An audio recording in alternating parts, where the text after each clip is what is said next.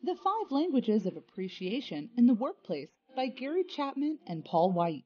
An employee performs incredibly well if he is motivated and completely comfortable with the office culture and environment.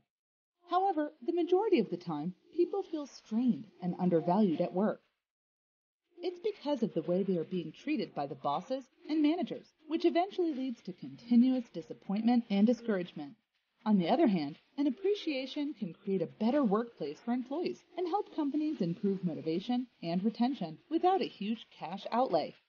It is what Gary Chapman and Paul White address in their book, The Five Languages of Appreciation in the Workplace.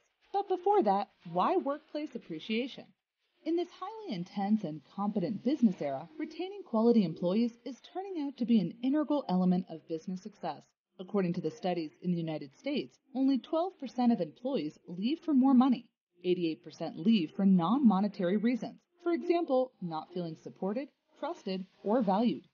So now you have a brief idea about why workplace appreciation is equally essential for the overall progress of the company. And to achieve it, let's dig in deeper and understand what these five languages of appreciation really are.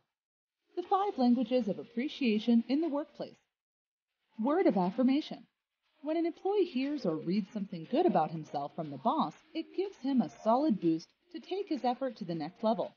So, as an employer or manager, you should affirm your team using written or spoken words, such as praise for accomplishments, affirming someone's character. Quality time. At the workplace, all employees should be treated in the same way without any discrimination or favoritism. And to make sure that a perfectly friendly atmosphere is maintained, give undivided personal attention to each of your teammates. Whenever having a conversation with the managers, executives, or any member of the organization, spend quality time with them. You can do this by having conversations, sharing experiences, conducting workshops, providing guidelines, and doing small group dialogues. Acts of service. The best way an employer can eradicate a communication gap between himself and the rest of the employees is by doing acts of service. This can be done by pitching in to help and get things done. For instance, if your team is working on an assignment and you know the better ways to complete it successfully, dive in, coordinate with the assigned team, take things in your hand, and work with everyone as a team member. Tangible gifts.